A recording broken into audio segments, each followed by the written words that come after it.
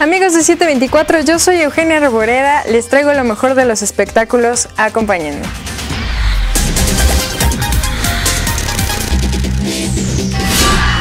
Es impresionante el cambio que ha sufrido el estereotipo de la mujer ideal a lo largo de 3.000 años. Sin embargo, no cabe duda de que en gusto se rompen géneros y hay quienes las prefieren curvilíneas, muy delgadas o flacas, chaparritas, altas o aquellas que se dejan llevar por la moda.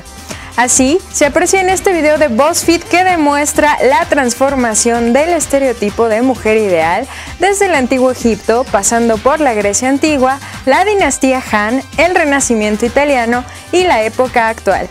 Te sorprenderá este gran cambio.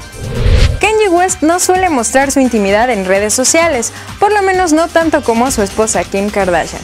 Por eso sorprendió a sus seguidores con un tierno video que produjo junto a su hija North para el video de Only One, canción que grabó junto a Paul McCartney en memoria de su fallecida madre. Northwest, la pequeña hija de Kim Kardashian, acompaña al rapero en diversas escenas del video que fue dirigido por el ganador del Oscar, Spikey Jones.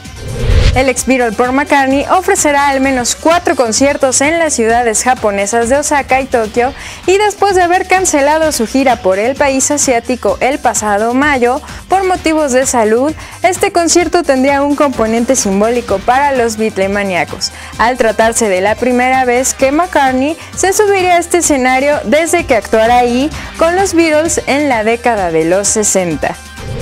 Ya se acerca la decimosexta edición del festival Cumbre Tajín, que se llevará a cabo del 19 al 23 de marzo y que tendrá como invitado principal a nada más y nada menos que Carlos Santana.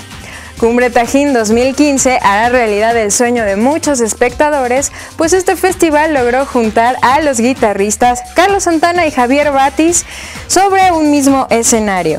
Santana, Javier Batis, Alejandro Lora y La Maldita Vecindad clausurarán con melodías de rock, ska y ritmos latinos este foro multicultural. Hasta aquí la información de los espectáculos. Yo soy Eugenia Reboreda. Nos vemos hasta la próxima.